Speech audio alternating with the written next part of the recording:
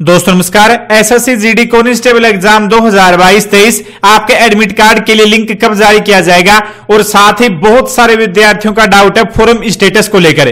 क्योंकि बहुत सारे विद्यार्थियों का फॉर्म अब भी नोट वेरीफाइड या फिर इनकम्प्लीट दिखा रहा है। तो दोस्तों, पूरी जानकारी देखते हैं। सबसे पहले यहाँ पे अगर बात की जाए आपके फॉर्म स्टेटस की, कि क्या आप अभी फ़िलहाल अपना फॉर्म स्टेटस एसएससी की वेबसाइट के ऊपर देख सकते हैं? तो दोस्तों, आप अभी बिल्कुल चेक नहीं कर सकते। फॉर्म स्टेटस एस एसएससी की तरफ़ से अभी जारी नहीं किया गया है। तो बात आती है आप कब चेक कर पाएँगे। तो आपके एग्ज़ाम से लगभग 10 से 15 दिन पहले फॉर्म स्टेटस के लिए लिंक जारी होता है। अब जो एसएससी की अलग अलग रीजन की वेबसाइट है, जैसा कि वेस्टर्न रीजन की वेबसाइट ये है। इसके अलावा आपकी सेंट्रल रीजन की वेबसाइट ये है, इनके ऊपर अलग अलग फॉर्म स्टेटस के लिए लिंक जारी होता है। तो दोस्तों, यहाँ पे आपके फॉर्म स्टेटस का जो लिंक है, वो आपको दो वीक पहले से देखने को मिल जाएगा। यानी लगभग आप मान के चलिए 26 27 दिसंबर के बाद में आप अपना फॉर्म स्टेटस चेक कर पाएँगे। ठीक है, बात की जाए एडमिट कार्ड की, कि एडमिट कार्ड आप कब डाउनलोड कर पाएँगे? तो दोस्तों देखिए, यहाँ पे पूरी जानकारी देखते हैं एडमिट कार्ड की। लेकिन आप सभी के लिए एक और खास इंफॉर्मेशन एसएससीडी कॉन्स्टेबल भर्ती के लिए हमारी टीम ने आपके लिए एक बहुत ही अच्छी ई बुक तैयार की है।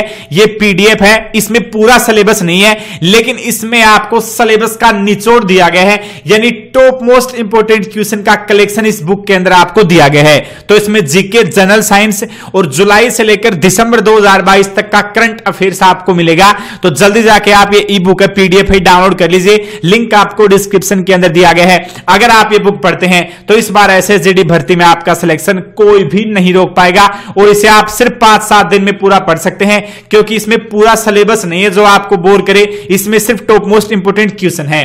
ठीक है दोस्तों एडमिट कार्ड की बात की जाए तो आपके एडमिट कार्ड जनवरी के पहले सप्ताह में जारी होंगे। यहाँ पे आप न्यूज़ देख भी सकते हैं, जनवरी के पहले सप्ताह में एडमिट कार्ड के लिए लिंक जारी हो जाएगा। लेकिन अब जिसका भी एग्ज़ाम जिस भी दिन होगा, आप उससे चार से पाँच दिन पहले ही अपना एडमिट कार्ड देख पाएँगे।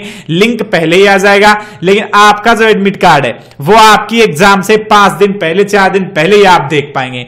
अब एग्ज़ाम एक महीने चलेगा तो जिसका एग्ज़ाम फरवरी में है, उसका एडमिट कार्ड फरवरी में ही आएगा एग्ज़ाम से पाँच दिन पहले। ठीक है तो यहाँ पे एडमिट कार्ड को लेकर कोई भी कंफ्यूजन आपके मन में नहीं होना चाहिए। आराम से आप अपने एग्ज़ाम की तैयारी में लगे रहो। बात है फॉर्म स्टेटस की तो ये आप बहुत जल्द इसी महीने के लास्ट में चेक कर पाएँगे और आपको पता चल जाएगा कि आपका फॉर्म है एक्सेप्ट है या फिर रिजेक्ट है। वैसे आपको ज़्यादा घबराने की ज़रूरत नहीं है। अगर आपका फॉर्म अच्छे से कंप्लीट हुआ था तो आपका फॉर्म है एक्सेप्ट ही होने वाला है। तो जैसे आपका एसएससी की तरफ़ से लिंक जारी किया जाएगा अलग अलग इंजीनियरिंग की वेबसाइट के ऊपर तो तुरंत आप फोरम स्टेटस अगर आप चेक करना चाहते हैं तो हमारी ऑफिशियल वेबसाइट के ऊपर आप विज़िट कर सकते हैं, जिसका लिंक आपको डिस्क्रिप्शन में दिया गया है। थैंक यू जय हिंद. वंदे मातरम.